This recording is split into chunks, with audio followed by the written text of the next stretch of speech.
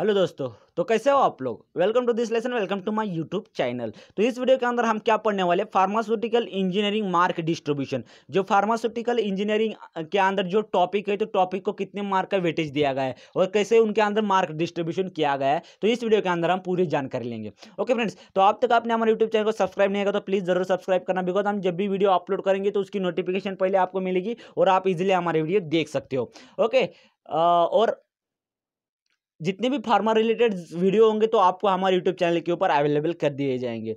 Okay तो चलो lecture को स्टार्ट कर देते हैं फार्मास्यूटिकल इंजीनियरिंग के अंदर।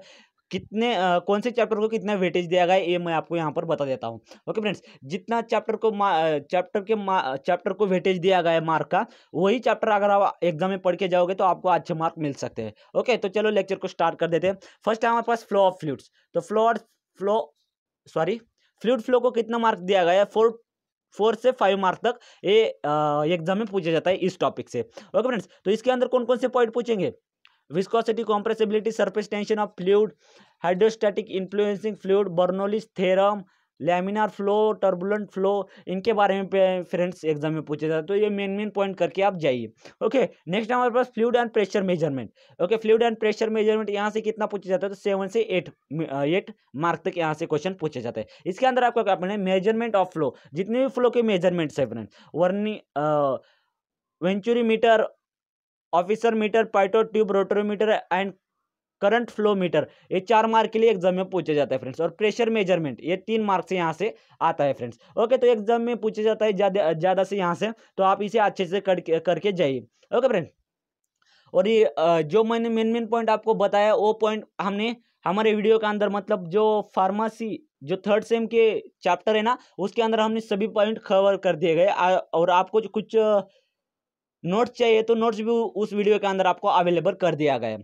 तो आप वो जा, वीडियो जाके देख सकते हो। नेक्स्ट है हमारे पास पंप्स पंप्स कितने मार्क के लिए आता है? तो एट मार्क के लिए यहाँ से आता है फ्रेंड्स पंप्स के अंदर आपको क्या पढ़ना है? Positive displacement pump reciprocating pumps, rotary pumps, ये चार मार्क के लिए पूछे जाते हैं, ओके? नेक्स्ट हमारे पास हीट एंड मास ट्रांसफ़र यहाँ यहाँ से कितने मार्क के लिए क्वेश्चन आ सकता है?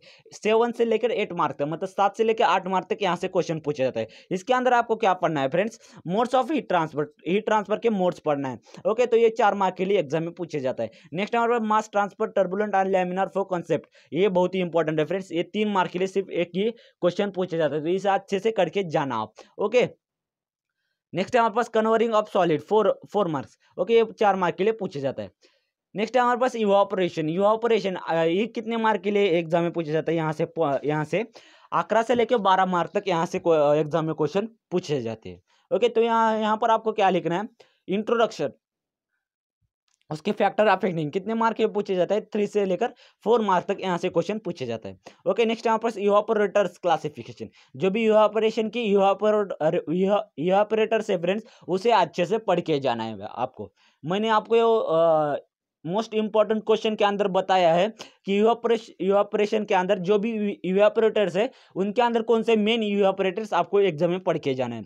तो वहाँ पर अगर आपने आप तक वीडियो नहीं देखा तो जाके वीडियो देख सकते हो। तो यहाँ से चार मार्क के लिए क्वेश्चन पूछा जाता है। ओके नेक्स्ट है मल्टीपल इफ़ेक्ट यूआपरेटर ये बहुत ही इंपॉर्टेंट यूआपरेटर है फ्रेंड्स ये ज़्यादातर एग्ज़ाम में पूछा जाता है मल्टीपल इफ़ेक्ट ऑफ़ यूआपरेटर ये तीन से चार मार्क तक एग्ज़ाम में यहाँ से क्वेश्चन पूछा जाता है। ओके फ्रेंड्स नेक्स्ट है हमारे पास डिस्टिलेशन डिस्टिलेशन यहाँ से भी आ, दस से लेकर अठारह मार्क ग्यारह मार्क तक एग्ज़ाम में क्वेश्चन यहाँ से पूछे जाते हैं इस पॉइंट से. ओके इसके अंदर भी आपको क्या पढ़ना है? जो भी डिस्टिलेशन की इवापोरेट इक्विपमेंट है इक्विपमेंट के बारे में पढ़ना है और उस, उसके फैक्टर अफेक्टिंग ओके फ्रेंड्स तो यहाँ से क्वेश्चन पूछा जाता है ज़्यादातर.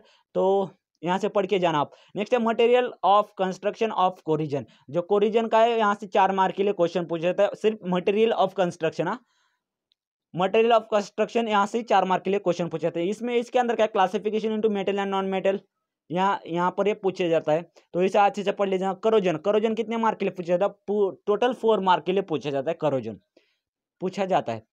करोजन फ्रेंड्स इसके अंदर आपको क्या पढ़ना है? Mechanism and types of corrosion corrosion का मैकेनिज्म और उसका टाइप्स पढ़ना है इसके अंदर। और उसके factor influencing rate of corrosion okay friends तो ये चार मार्क के लिए यहाँ से क्वेश्चन पूछा जाता है। एग्ज़ाम से अच्छे से पढ़ लेना आप। अच्छे से एग्ज़ाम में लिख लेना।